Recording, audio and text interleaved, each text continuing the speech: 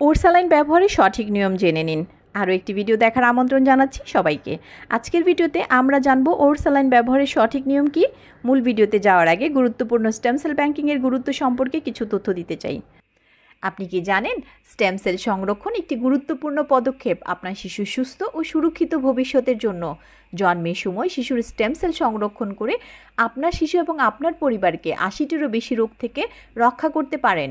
Code blood ব্যাঙ্কিংয়ের জীবন রক্ষাকারী সুবিধা সম্পর্কে আরও জানতে zero one three one two one seven eight nine one zero এই নাম্বারে কল করুন। ফিরে যাব মূল ভিডিওতে ডায়রিয়া বা অন্য যে কোনো কারণে পানি শূন্যতা রোধে কার্যকর সমাধান হলো খাবার স্যালাইন খাওয়া। ডায়রিয়ার কারণে শরীর থেকে অতিরিক্ত পানি বের হয়ে যায়, সেই ক্ষতি পুষিয়ে দেওয়াই স্যালাইনের কাজ। কিন্তু স্যালাইন ভুল নিয়মে খেলে উপকার হবে না, বরং এতে ক্ষতির সম্ভাবনাই বেশি।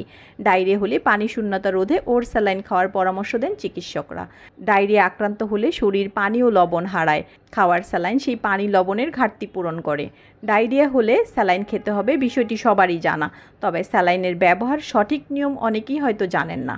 স্যালাইনে থাকে লবণ, অর্থাৎ sodium chloride, potassium chloride, glucose এবং ট্রাইসোডিয়াম সাইট্রেট। আমরা যে ওর স্যালাইনের প্যাকেট কিনে খেয়ে থাকি, তা আধা লিটার পানির মধ্যে মিশিয়ে খেতে হয়। অনেকেই হয়তো পানির পরিমাণ কমিয়ে পুরো প্যাকেটের স্যালাইন খেয়ে থাকেন।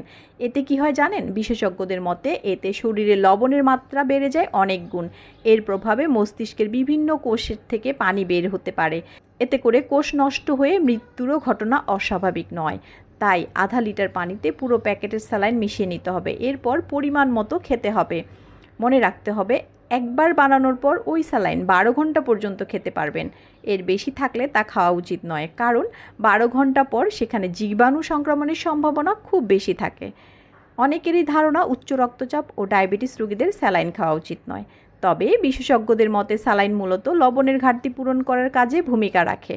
আর ডায়রিয়া আক্রান্ত হলে শরীর প্রচুর লবণ হারায় তাই উচ্চ রক্তচাপের রুগীরাও ডায়রিয়া হলে স্যালাইন খেতে হবে। এতে লবণের আধিক্য হবে না এবং রক্তচাপও বাড়বে না।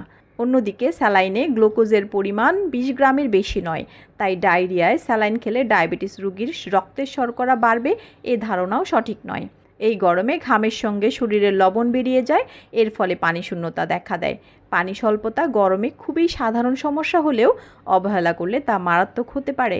এই সময়ে তাই দুর্বল লাগলে খাবার স্যালাইন খেতে পারেন। চাইলে ঘরেও তৈরি করে নিতে পারেন মূল্যবান ওর স্যালাইন। এই জন্য এক মুঠ গুড় বা চিনি, তিন আঙ্গুলের ডগা দিয়ে এক চিমটি লবণ, আধা লিটার পানিতে ভালোভাবে মিশিয়ে তৈরি করে নিতে পারেন ওর স্যালাইন। মনে রাখতে হবে, বাজারের কেনা এক প্যাকেট ওর স্যালাইন আধা লিটার খাবার পানিতেই মেশাতে হবে। ধন্যবাদ। সবাই সুস্বাস্থ্য কামনা করছি।